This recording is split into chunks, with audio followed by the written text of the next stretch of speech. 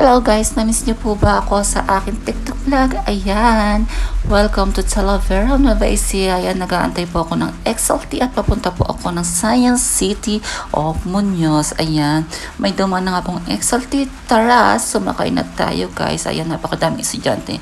Kaya super haggard tayo for today's video. Char lang po. Mamaya fresh tayo, Char. Ayan, nakasakay na po ako sa XLT. Ito, ma-under ng XLT. Ayan, may papost pa po. And then, nandito na po tayo agad-agad sa Suarco na Science City of Muñoz, Nueva Ecija. And then, ayan nga po ba, nakababa na po ako sa XLT. And andito po ako sa Lon H2O. Munoz branch. Ayan po guys. Makikita niyo po ako dyan. Salon H2O Munoz branch. So, ano po nga hinintay natin tara naman paayos at si Russell nga lapat nga po ba ang aking makeup artist for today's video guys. Ayan.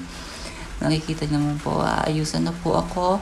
Ayan, super pa-pretty na lang po. And then, ayun, nagmaganda ang bakla. Kaya na late na po sa ating barangay Katanalak. So, bagong lahat, napaka-fresh ko for today's video. Thank you for makeup artist Russell Lafat.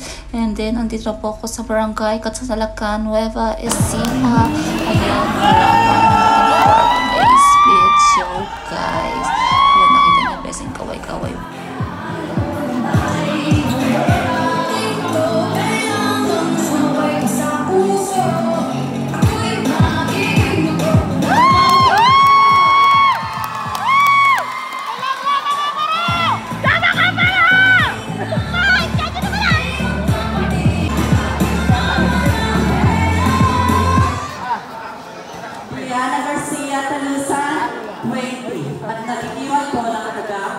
ko pagka po ay kulay puti, itlog po ng nagya.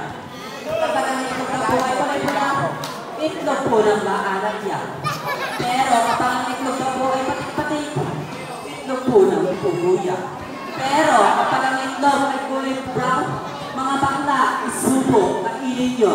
It's organic yan.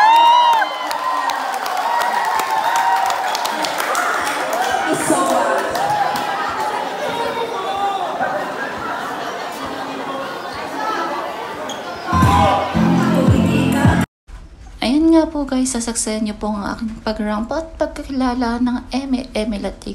Kaya hindi na po tayo makipagbardagulan at alam po natin kung sino mananalo ngayon natin for today's video. Char lamang po. Ayan guys, so pa-pretty-pretty lang oh. Pak, pak, pak, rampa lang po guys. So, ayan po ang aking kapatid na si Bea Piap Catalusan. Ayan nga po guys. Ayan po, napakaganda po dito sa barangay Katsanalakan. At ayan po ko, oh, pak! Ayan nga po guys, super haggard na nga po for today's video.